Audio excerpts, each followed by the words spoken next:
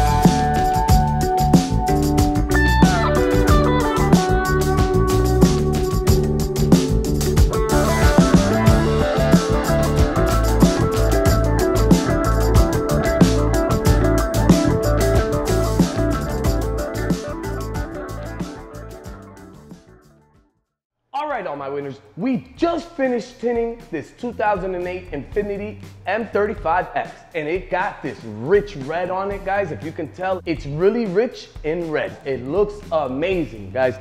Give it a look, guys. I like this look. For you guys that want a out of this world color, we're the shop to come to. We offer different types of tones and qualities, guys. If you wanted a crazy color like an aqua blue or even like a chromed out aqua blue, we can get that for you guys. All you gotta do is hit us up. We'll be more than happy to give you guys a price range. Thank you so much for watching. Check it out before we roll it out. Yeah.